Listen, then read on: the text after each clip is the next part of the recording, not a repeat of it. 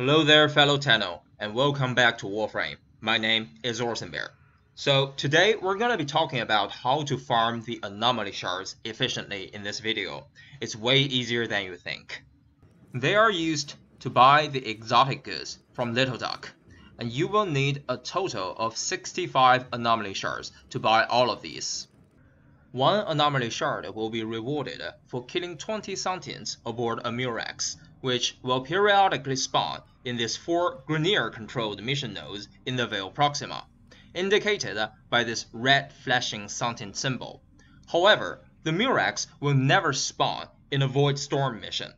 Let's say if the flashing symbol appears here, you need to choose the regular one instead of the Void Storm variant.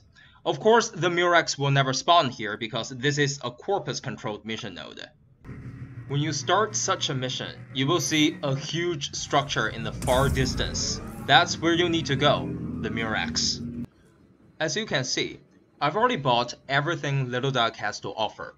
You might think that I've completed the Railjack mission 65 times, destroyed all the fighters, crewships, completed all the mission objectives, and the Murex of course. It's gonna take forever.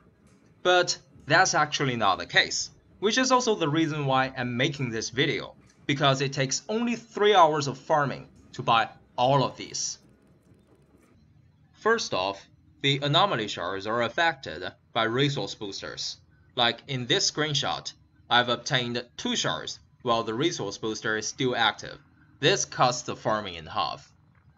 Secondly, there's a major difference between Railjack and regular missions. That is, you will be able to keep some of the loot, like the anomaly shards, even if you fail the mission.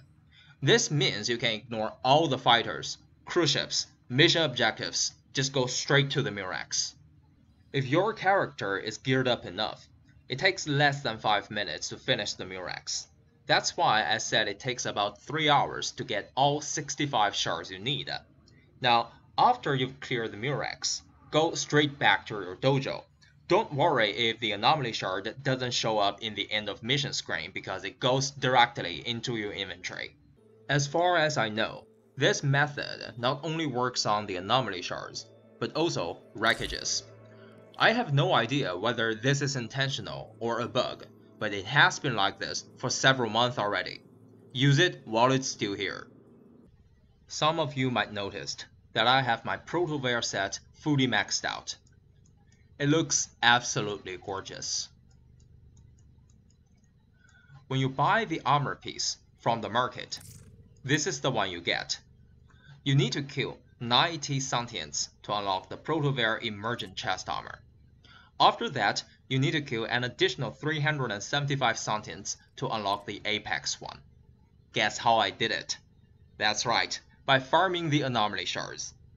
I'm not 100% sure about this, but I think you can farm Shedu parts as well using this method because how else could I have this many? Shedu parts are dropped by Symbilists, which are abundant in the Murex. What I'm saying is that you can get multiple things done by doing this one farm. So basically, there are two requirements for you to do this farm efficiently. The first one is that you need to be strong enough to deal with the sentients in the Murex. They're above level 80 after all. And the second one is to have a resource booster, which you can get just by logging in.